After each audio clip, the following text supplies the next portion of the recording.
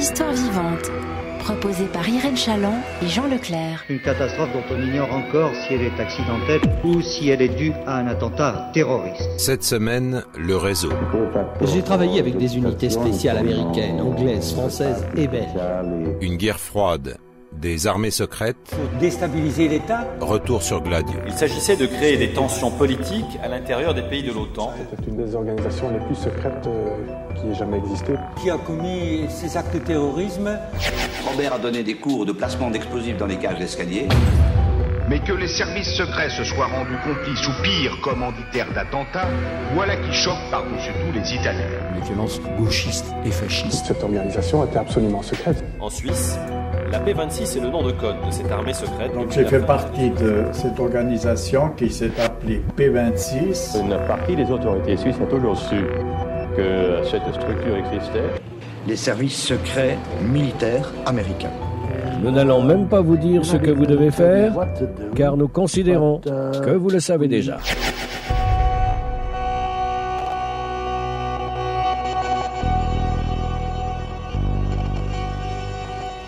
Que va déclarer l'inoxydable à la tribune de l'Assemblée. Quelles vont être les réactions Les doutes Les suspicions? À quoi vont ressembler les protections particulières? Quelle est la mission d'X2 Qui va être le premier retourné? Qui va exiger la fin de l'office et le limogeage du patron? Quels nouveaux bureaux se mettent en place.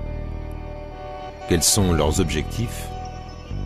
Quel rôle va jouer l'ITAC Ce sont là quelques-unes des questions que nous poserons dans ce premier épisode intitulé Mariage avec une ombre. Chapitre 1 Annonce particulière. Voici le portrait d'un homme de l'ombre, un Européen de nationalité belge. Pour le moment, et avant d'en connaître plus sur ses activités, ne retenons que son identité. Il se nomme Michel Van Hussel.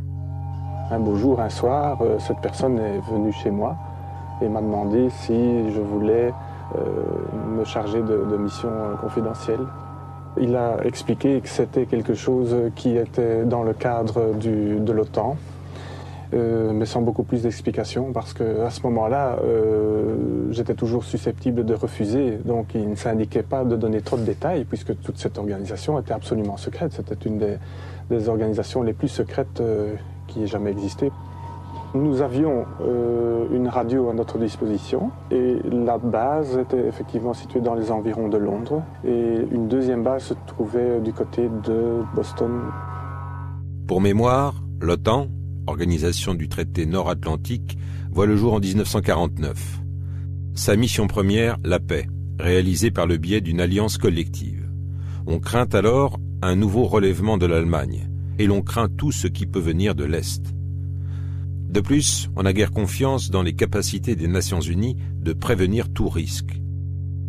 Les Nations Unies sont suspectées, non sans quelques raisons, d'être amplement infiltrées par l'Est. Autre homme de l'ombre, européen lui aussi, de nationalité italienne. Idem que le précédent, sans préciser la nature de ses missions, ne retenons en tout premier lieu que son identité. Il se nomme Decimo Garau. J'ai travaillé avec des unités spéciales américaines, anglaises, françaises et belges. Américaines, anglaises, françaises et belges. En général, ces missions concernaient les transports de forces spéciales qui venaient directement de France, de Belgique ou bien d'Angleterre.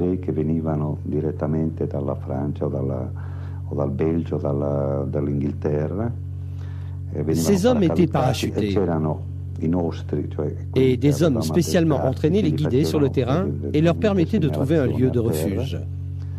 E poi li guidavano nelle, nelle case sicure. Troisième homme de l'ombre, Vincenzo Finciguerra, ancien membre du groupe néofasciste Ordine Nuovo. Comme les deux précédents, il est relié à une même structure pour laquelle ces hommes vont travailler. Gladio.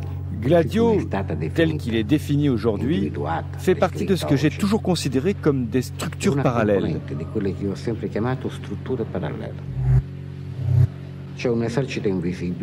Il s'agit d'une armée invisible. Son rôle n'est pas de lutter contre un hypothétique envahisseur, mais plutôt d'opérer à l'intérieur contre ce que les militaires ont toujours appelé la fameuse cinquième colonne. La cinquième colonne de l'Union soviétique, le Parti communiste et l'extrême gauche.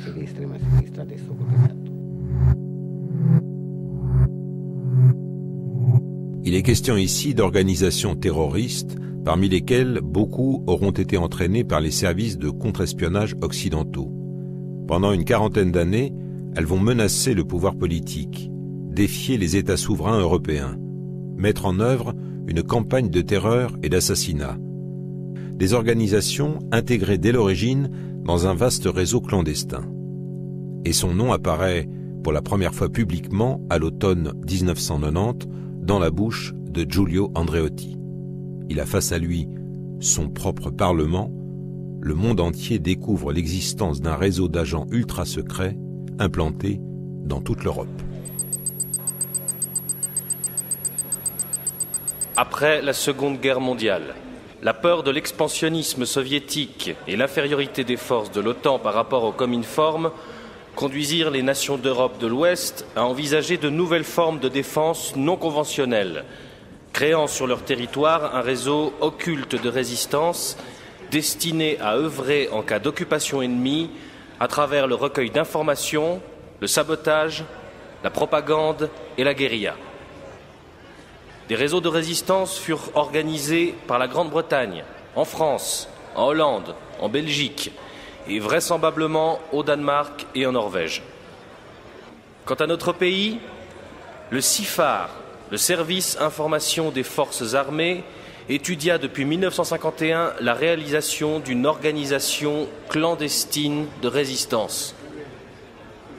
Un accord fut signé entre les services américains et le CIFAR relatif à l'organisation et aux activités du réseau clandestin post-occupation accord communément appelé Stay Behind, par lequel furent confirmées toutes les obligations précédemment intervenues entre l'Italie et les USA.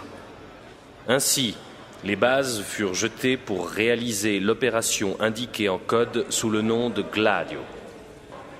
Un tel organe était chargé d'étudier les activités en cas de guerre, avec une référence particulière aux territoires susceptibles d'occupation ennemie un organe formé d'agents opérant sur le territoire qui, au vu de l'âge, du sexe et de l'occupation, détenait de bonnes possibilités d'échapper à d'éventuelles déportations et internements, couverts par un secret maximal, et pour cette raison subdivisé dans un ordonnancement cellulaire pour réduire au minimum les dommages de dysfonctionnement. Le réseau clandestin s'articulait ainsi. Service information, service sabotage, service propagande et résistance générale, service radiocommunication, service chiffres, service réception et transfert de personnes.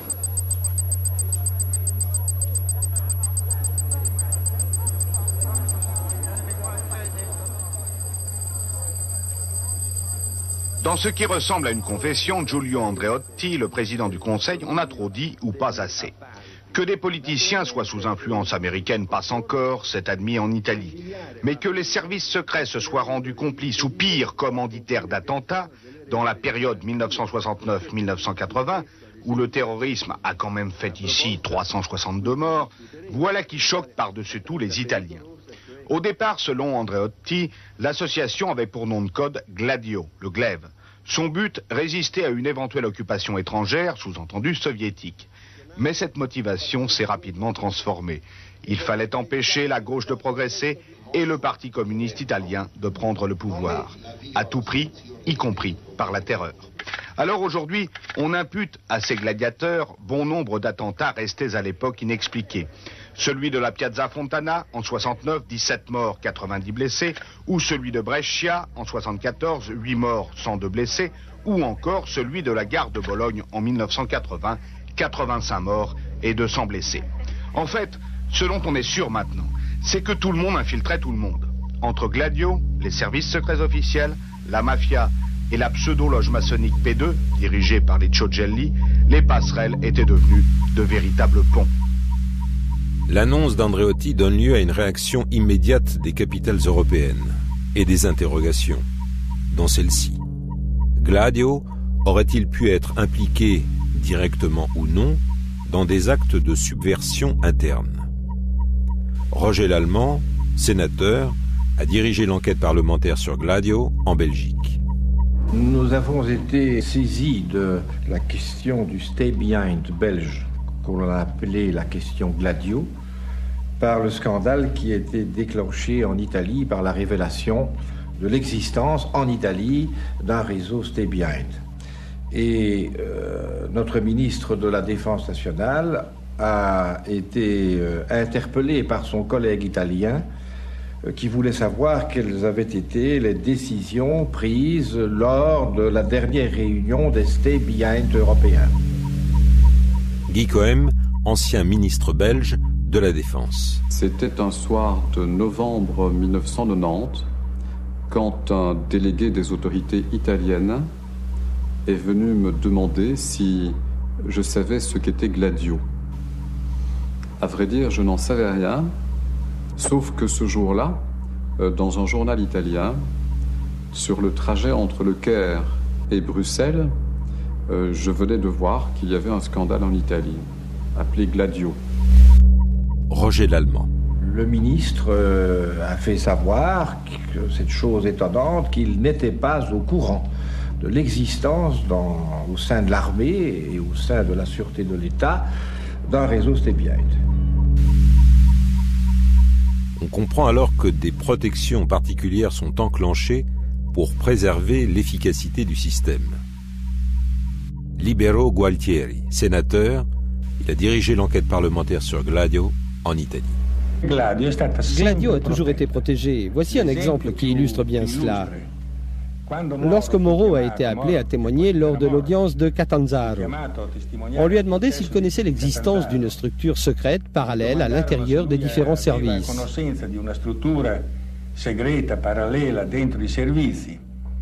Moreau a demandé aux différents services quel type de réponse ils devaient fournir.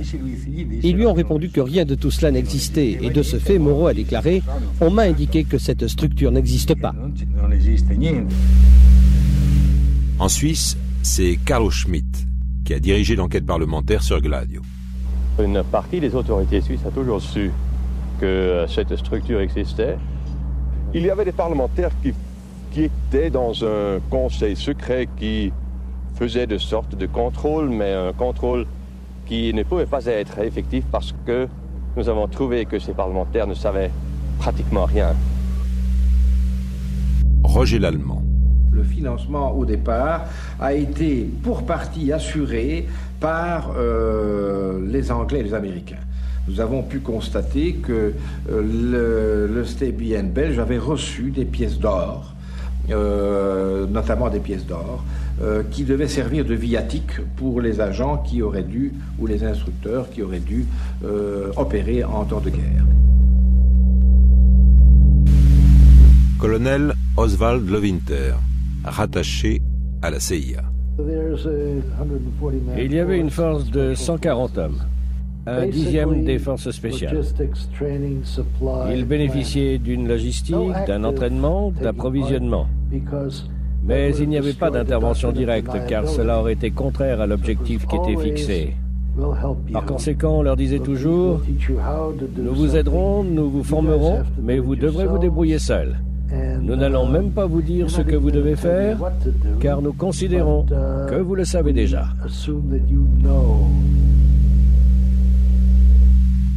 André Moyen, service de renseignement militaire belge de 1938 à 1952. On a dit que c'est le CIA qui a créé Gladio. C'est impossible puisque CIA a été créé en septembre 49 ou septembre 49 Or, Gladio existait en Italie, en France, en Suisse, en Belgique, en tout cas, et probablement, oui, en Espagne, avant septembre 49, donc avant la création de la CIA. Mais, comme ils le font souvent, les Américains sont montés dans le train en marche.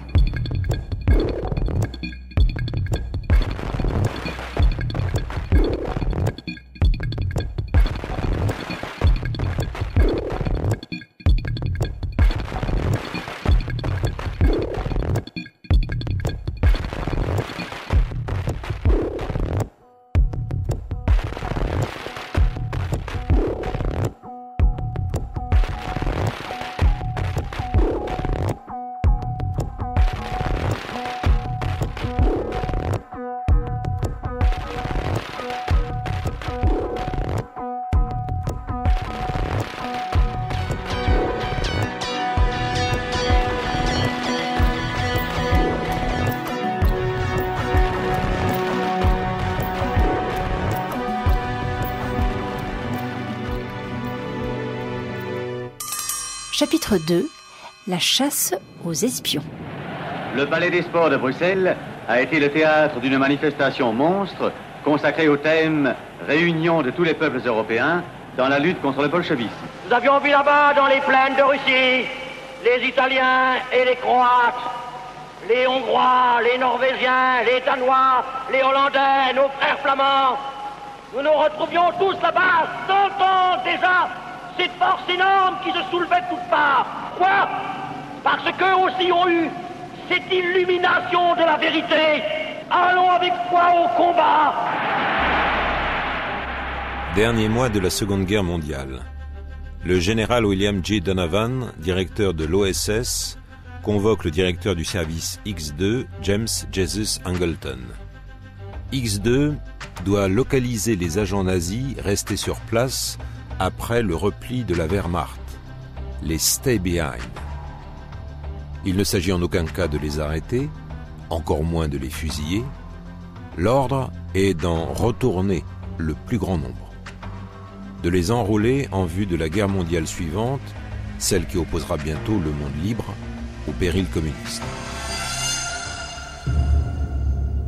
Il faut opérer immédiatement, avant que les mouvements de résistance n'identifient eux aussi les stay behind et ne les épurent. L'opération débute en Italie. Peter Tompkins, officier de l'OSS basé à Rome de 1942 à 1945. Je suis arrivé, envoyé par le général Donovan, pour entrer en contact avec les dirigeants du Comité des Nations, la junte militaire du Comité des Nations, c'est-à-dire l'union des groupes de partisans. Andy Birding était le premier du X2 à entrer dans Rome. C'était un ancien correspondant de l'Associated Press. Et j'ai pensé que je pouvais compter sur lui pour trouver quelqu'un de fiable. Nous lui avons donc communiqué tout ce que nous savions sur les stay behind allemands. Jim Angleton est alors apparu au mois d'août.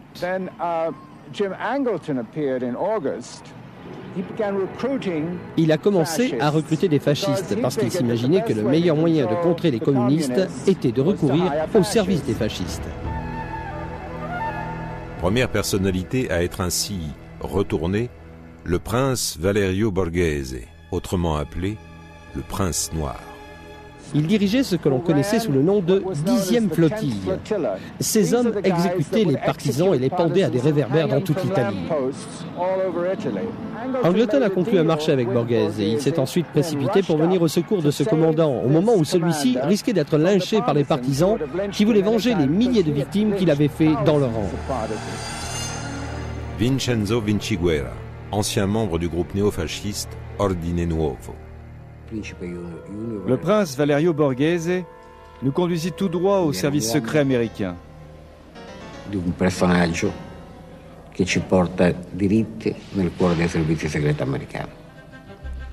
Il a été sauvé et protégé par Angleton en 1945 lorsqu'il s'est rendu à Milan à la fin de la Seconde Guerre mondiale. La décima la Decima Mass, le groupe que Valerio Borghese commandait, avait promis aux Alliés par écrit de prendre les armes dans l'éventualité d'une invasion soviétique. Simultanément, le Stay Behind met en place une organisation internationale politico-militaire, Propaganda Due, régulièrement affiliée au Grand Orient d'Italie. P2 permet donc d'articuler guerre politique et opérations spéciales. Liccio Gelli, grand maître de la loge, aura été auparavant l'officier fasciste de liaison entre l'X2 de l'OSS et la Decima Mas du prince Borghese. Liccio Gelli. Nous avons été faits prisonniers par des soldats canadiens qui nous ont placés entre les mains de l'OSS. Eh, Ils m'ont bien traité. Et m'ont retenu pendant une semaine dans un appartement à Pistoia. E Ils m'ont apporté une feuille de papier et l'officier m'a demandé d'écrire l'histoire de ma vie, depuis ma première communion jusqu'à ce jour. Une semaine plus tard, ils m'ont demandé si je voulais être parachuté dans le Nord. C'est un colonel de l'armée américaine qui m'a demandé cela. Je lui ai alors répondu négativement en lui disant que mon travail était terminé.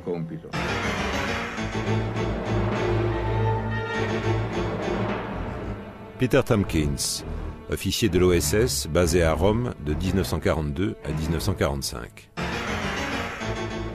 Pour vous montrer à quel point il s'agissait d'un jeu cynique, un jeune policier, Federico Umberto D'Amato, la nuit où les Alliés ont pénétré dans Rome, a fait arrêter tous les stay allemands, dont il connaissait l'adresse.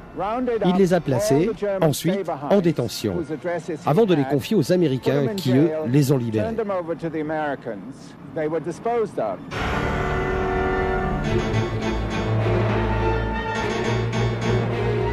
Les stay behind allemands sont livrés aux autorités italiennes qui chargent leurs tribunaux militaires de les juger. Federico Umberto D'Amato, chef de la police politique et ministre de l'Intérieur italien de 1972 à 1974. Je travaillais à l'hôtel Excelsior, celui-là même où le général Melzer était basé. Il était à la tête des forces armées allemandes présentes dans Rome. Le commandement général de la Wehrluft était également là.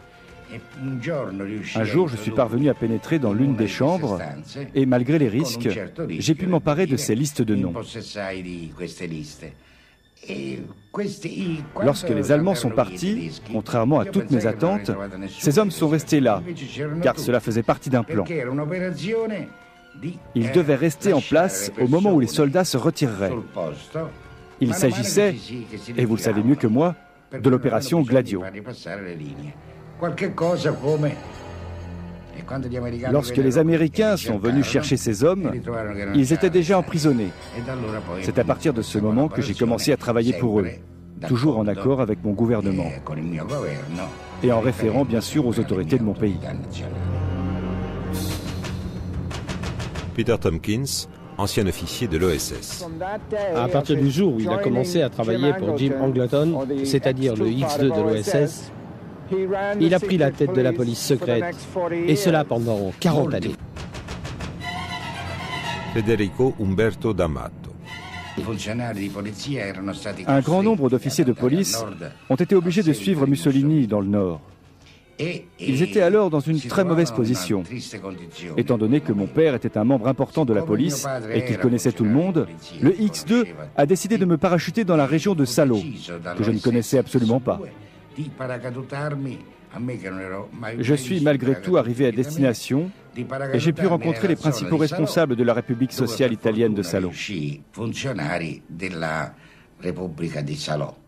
Ceux-ci ont évidemment accepté de collaborer.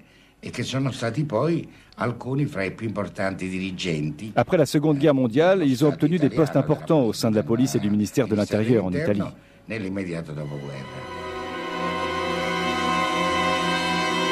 Peter Tompkins, ancien officier de l'OSS. Gladio était le fruit du travail de plusieurs hommes, mais son principal architecte était Angleton. Et comme tout le monde le sait, Angleton était une sorte de paranoïaque. L'une de ses boutades préférées était même les paranoïaques ont des ennemis. Angleton considérait que l'on ne pouvait faire confiance à personne, et encore moins à un pays étranger. Federico Umberto D'Amato. Plus le temps passe et plus on découvre de choses sur la Seconde Guerre mondiale, ainsi que sur la période qui l'a suivie, et à laquelle on a donné le nom de guerre froide. Nous finirons, j'en suis sûr, par comprendre quel homme extraordinaire était Angleton. Un homme extraordinaire, au point de passer quasiment pour un fou. Comme l'a dit Erasme, un peu de folie est nécessaire en toute chose. Et lorsque vous étiez recruté pour l'OSS, c'est-à-dire le service dont découle la CIA, une pancarte disait Pour entrer dans l'OSS, il n'est pas nécessaire d'être fou, mais cela aide beaucoup. Et je suis convaincu que c'est Angleton qui l'a écrit en personne.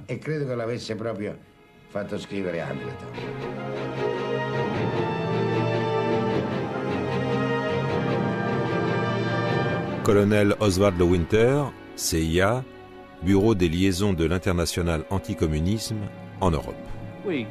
Nous avons, d'une certaine façon, anticipé une nouvelle guerre mondiale. Une guerre mondiale qui se serait caractérisée par l'occupation de l'Europe occidentale par les forces soviétiques. Et dans ces conditions, nous préparions les bases d'un mouvement de résistance capable d'opérer en temps de guerre.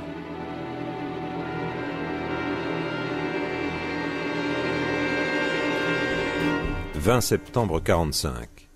Truman signe le décret. C'en est fini de l'OSS. Les services secrets de l'armée, de la marine, le département d'État, celui de la guerre, le FBI, tous se liguent et obtiennent la mort de l'OSS et le limogeage de Donovan. Pression sur le président, campagne de presse dénonçant le maintien de cette, je cite, nouvelle Gestapo en temps de paix, l'organisation et ses 20 000 employés sont démantelés. Les bureaux de l'étranger réduits à portions congrues. William Donovan retourne à son cabinet et se lance dans les affaires. Il ne reste plus qu'une seule structure chargée du renseignement extérieur, les CIC, Counter Intelligence Corps. Il faut agir et mettre en place une nouvelle agence de renseignement et de subversion. Sidney Soares et Hoyt Vandenberg vont assurer successivement son démarrage et son envol. Le Congrès vote la loi 253, dite National Security Act. La CIA est née. Sidney Soares.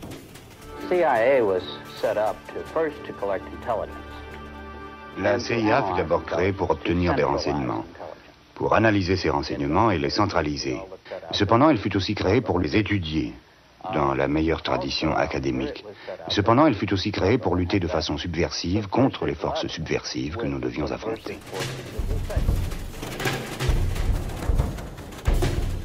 L'agence de la subversion contre la subversion.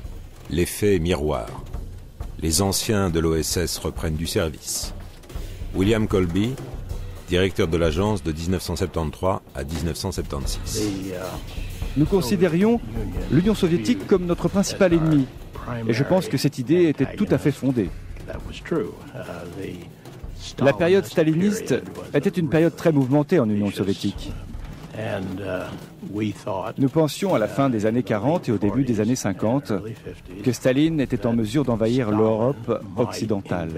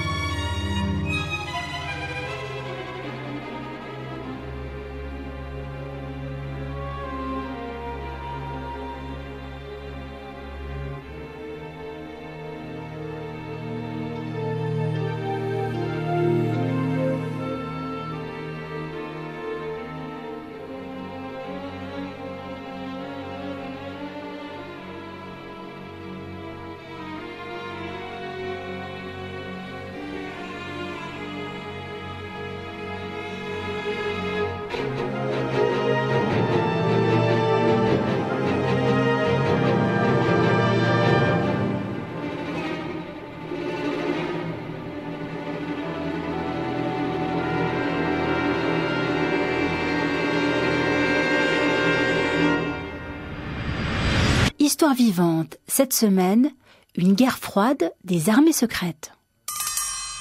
Chapitre 3 Mise à feu. L'autorisation officielle a été donnée, une directive datant de juin 48. Toute opération du réseau sera planifiée et conduite sous l'autorité d'un bureau administrativement rattaché à la CIA. En temps de guerre, en coordination avec l'état-major.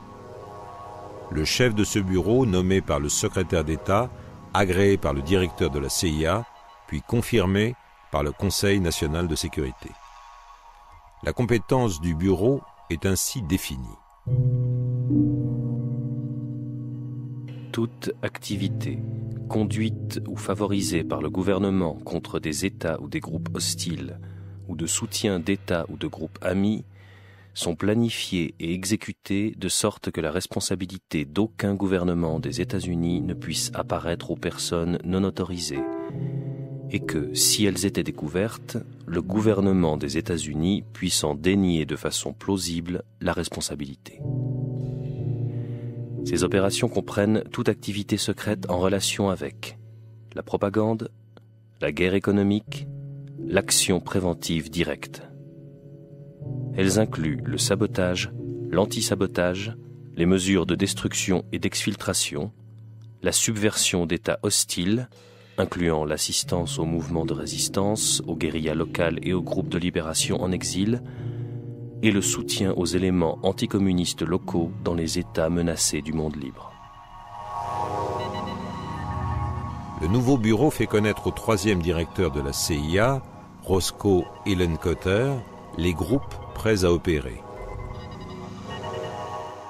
Le groupe de guerre psychologique, le groupe de guerre politique, le groupe de guerre économique, le groupe d'action directe préventive. Ce dernier gérant les dossiers aide aux guérillas, opérations de sabotage, d'exfiltration et le STEBI. John Singlobe, général de division de l'armée américaine.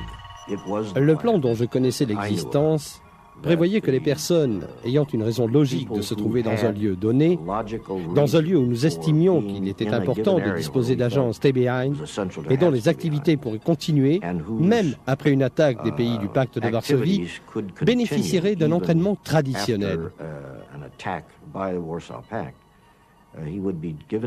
Ces personnes seraient informées de l'emplacement de certaines caches d'armes et d'outils de communication.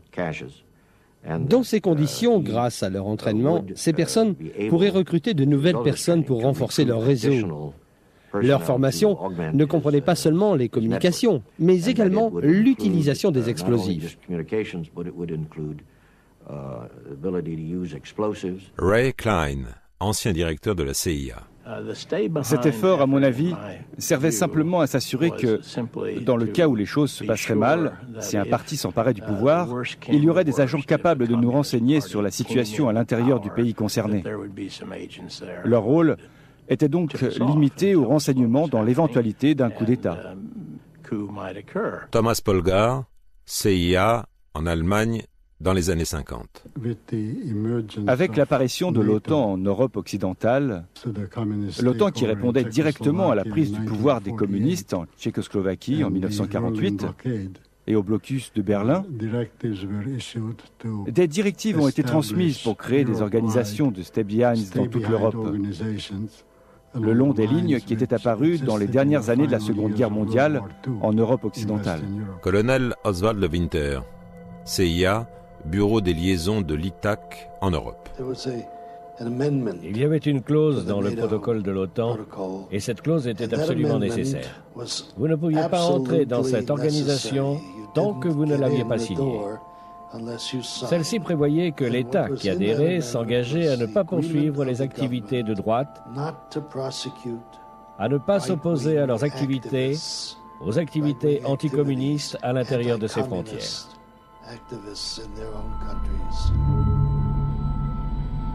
L'ITAC, l'International anticommuniste, se met donc en place. Toutes sortes d'individus et de groupes s'y agrègent.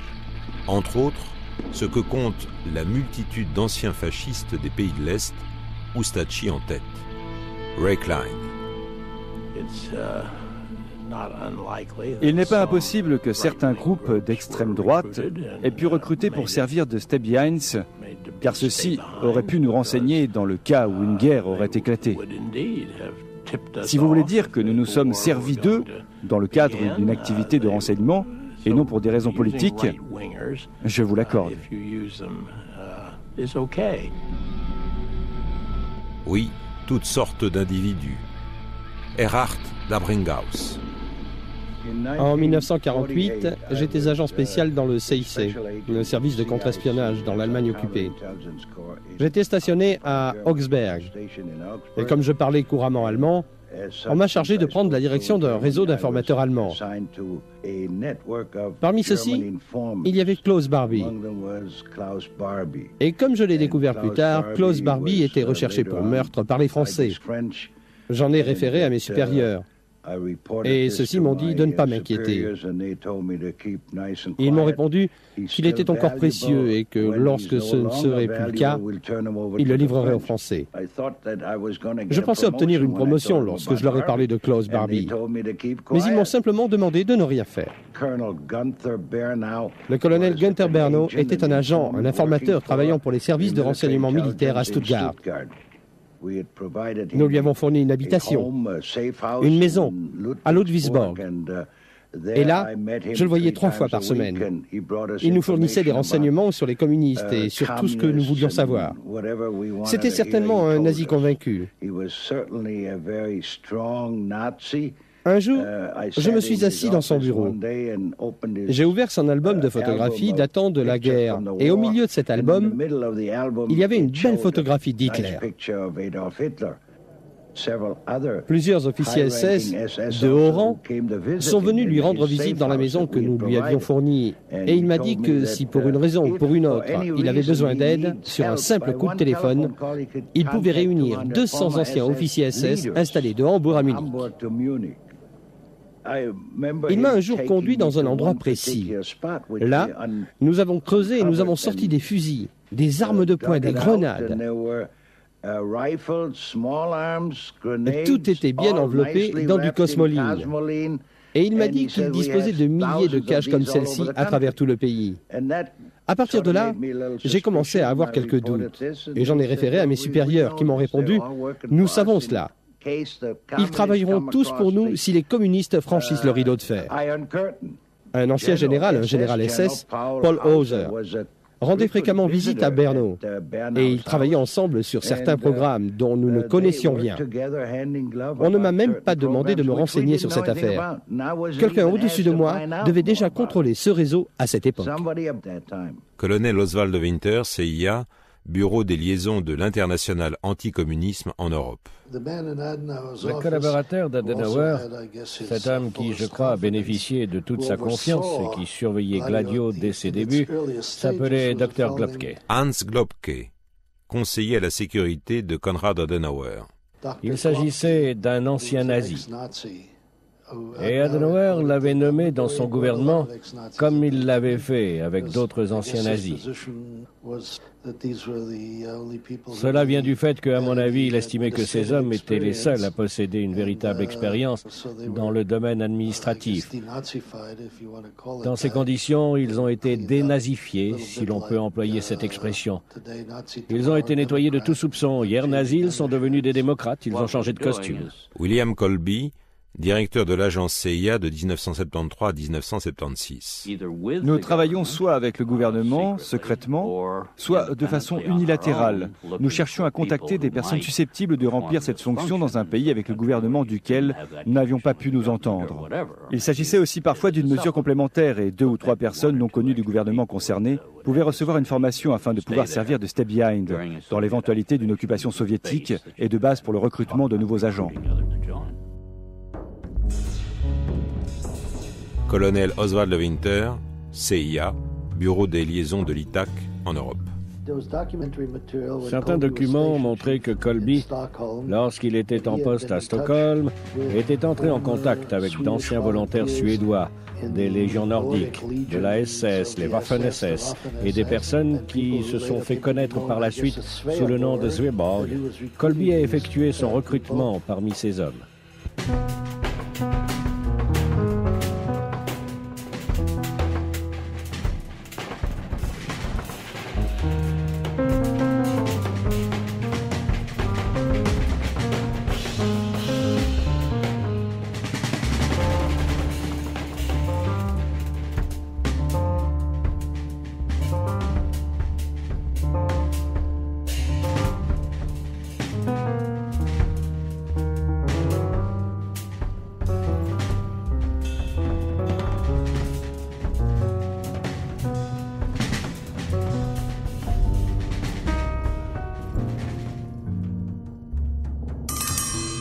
Chapitre 4 Esprit de Ligue Après la dissolution de l'OSS, le CIC a fait du recrutement. Ainsi, le général allemand Reinhard Gehlen, ancien chef des armées étrangères de l'Est, est chargé de la reconstruction du monde du renseignement ouest-allemand.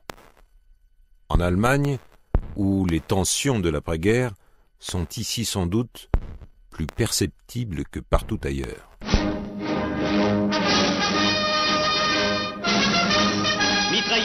Au-dessus de la zone soviétique, l'avion régulier d'Air France Francfort-Berlin n'a pu atterrir que grâce au sang-froid de son pilote.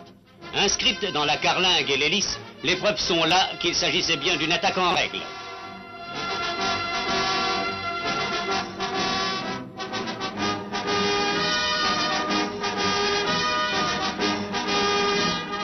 Trois blessés graves, tel est le résultat de cette agression. Or, c'est précisément d'Allemagne que va venir le premier scandale lié au Stay Behind. 1952. On apprend qu'il existerait de curieuses équipes politiques. Thomas Polgar, en poste pour la CIA en Allemagne en 1951. Dans tous ces pays, certains éléments des partis sociaux-démocrates ou socialistes s'alignaient avec les communistes dans de prétendus partis d'unité nationale ou partis socialistes unitaires. On présumait à ce moment-là que si l'armée soviétique occupait l'Europe de l'Ouest, celle-ci chercherait à établir en Allemagne une sorte de gouvernement fantoche. La Bundesdeutscher Jugend était une organisation politique d'extrême droite vaguement affiliée à l'un des partis politiques du Land de Hesse. On considérait que ces personnes étaient aptes et préparées pour opérer dans le cas où les soviétiques envahiraient totalement ou partiellement le territoire allemand.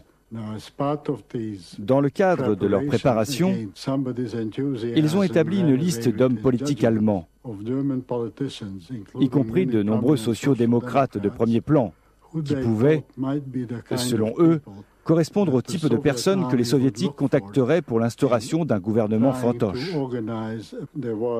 Lorsque cette histoire a été révélée, elle a eu un grand retentissement et on a estimé qu'il serait souhaitable que le général Truscott explique personnellement, avec les gens concernés, sur ce qui s'était passé. Nous avons exposé dans un premier temps la situation à Konrad Adenauer, puis au général Matthews Ridgway, qui était à cette époque-là commandant en chef de l'OTAN.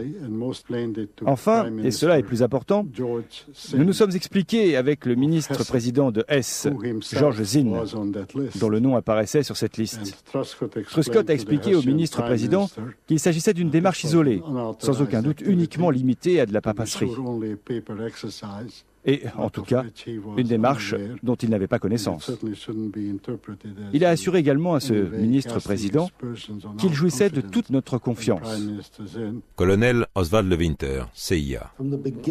Dès le début, l'opération Gladio s'est trouvée sous l'influence de deux acteurs, les Britanniques et les Américains, car l'accord original conclu entre Sir Stewart Menzies et les anciens membres de l'OSS, Wisner et Dawes, prévoyait que les Britanniques conserveraient une marge de manœuvre dans les pays qui étaient traditionnellement pro-britanniques, tels que les Pays-Bas, la Belgique, le Portugal et l'Espagne.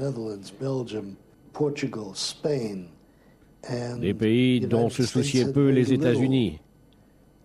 J'ai eu l'occasion de lire certains documents en rapport avec cela. Si nous avions besoin de quoi que ce soit, je devais contacter un responsable du DI6.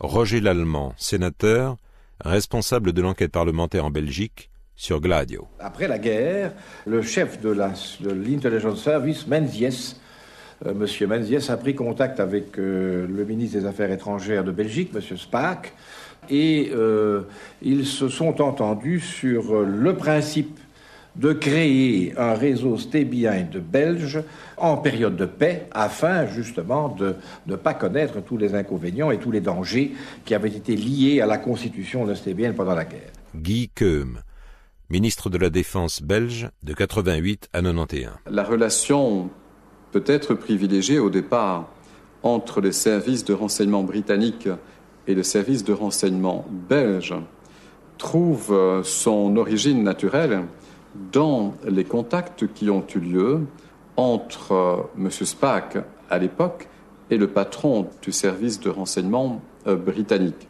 Et dans cette réunion, ce tripartite meeting avec les États-Unis, la Grande-Bretagne et la Belgique. Professeur de droit constitutionnel à l'université de Sassari, entré tout jeune dans la démocratie chrétienne, il rejoindra l'aile progressiste de son parti, dont le futur chef s'appellera Aldo Moro.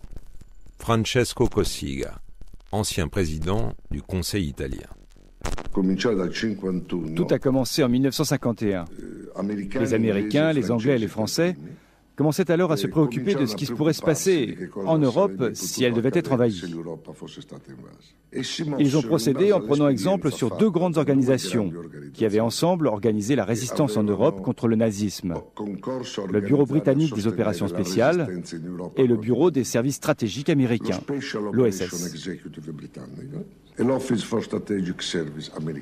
Roger Lallemand, sénateur. Il a dirigé l'enquête parlementaire en Belgique sur Gladio. Ces réseaux euh, ont été constitués à l'intérieur de services secrets. Enfin, ce qu'on appelle les services secrets, c'est-à-dire du service des renseignements militaires et de la sûreté de l'État. Libero Gualtieri, sénateur, responsable de l'enquête parlementaire en Italie sur Gladio. Il existe un grand débat sur la légitimité de Gladio. Effectivement, selon la Constitution, le Parlement aurait dû être informé de ce projet. Ceci est un grand problème. Le fait est que, même s'il était nécessaire de disposer de structures secrètes, et dans les accords internationaux, on trouve des clauses secrètes. Tout nouveau président du Conseil italien doit être informé de ces questions. Question particulière par celui qui le précédait.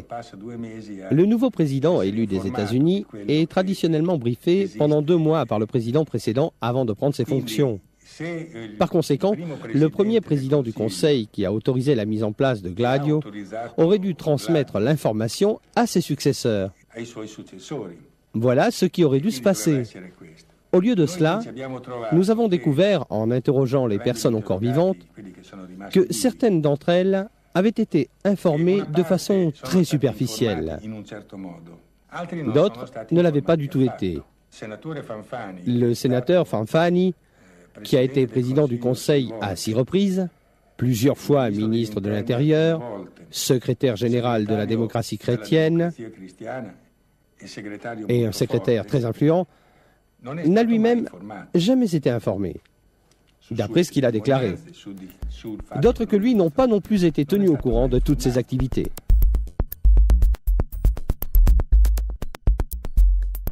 Le mot de la fin, d'une fin provisoire, au colonel Oswald Winter, responsable pour la CIA de la liaison internationale anticommuniste en Europe. Au sein de l'OTAN même, il n'y avait pas de responsable de la coordination de Gladio. Toutefois, superposé à l'OTAN, il y avait un bureau de coordination dépendant de l'ITAC, structure qui faisait partie du département de la Défense. On y trouvait, entre autres choses, un bureau de l'OTAN. Ce bureau de l'OTAN appartenait à l'agence. Mais même s'il dépendait de l'agence de renseignement pour la défense, son personnel était traditionnellement recruté par la CIA. Seules les personnes ayant les mêmes intérêts que les Américains et les mêmes conceptions ont été informées. Tout dirigeant politique inamical ou pas suffisamment digne de confiance ne savait rien. Des documents issus des services secrets de différents pays membres révéleront que l'organisation Gladio était établie dans toute l'Europe, y compris au Danemark, en Norvège, en Hollande, en Espagne, en Turquie, en Grèce. Toute information transmise par Gladio était coordonnée à Bruxelles par le CPC, le comité clandestin de la planification. La présidence du CPC sera successivement accordée aux différents services secrets, une organisation parallèle agissant en toute liberté et en dehors de tout cadre.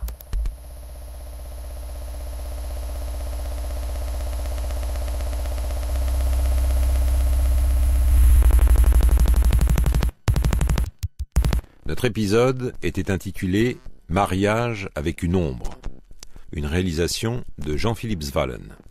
Demain, suite de cette évocation, avec un nouvel épisode intitulé Une Belgique brune.